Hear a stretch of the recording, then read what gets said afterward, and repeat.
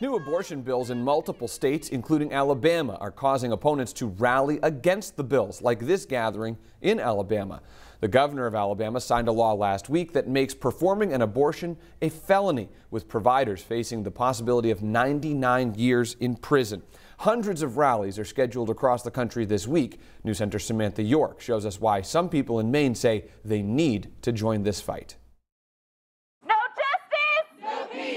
It's a message activists want heard loud and clear after lawmakers in Alabama and other states prepare to make drastic changes to their abortion laws. Is the baby in a womb a person?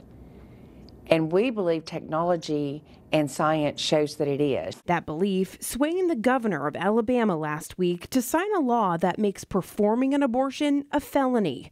Providers now facing the possibility of 99 years in prison.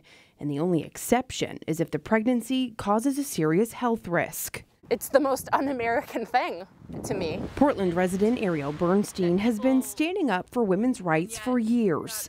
As a mother and a midwife, she understands the gift of life, but says she firmly believes access to a safe abortion is about much more than the procedure.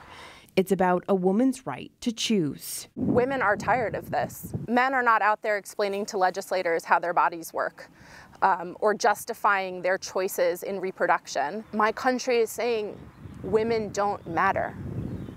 Your body doesn't matter, your body's not yours, your choices are not yours. This frustration prompting Bernstein to speak up and organize a rally for activists here in Maine, saying it's a way for people to stand in solidarity with others across the country as thousands are expected to make their concerns known during a day of action. We are in a position here in Maine where we might feel very safe with our laws right now in our state. So we need to take that comfort and use it to be the voice for others right now.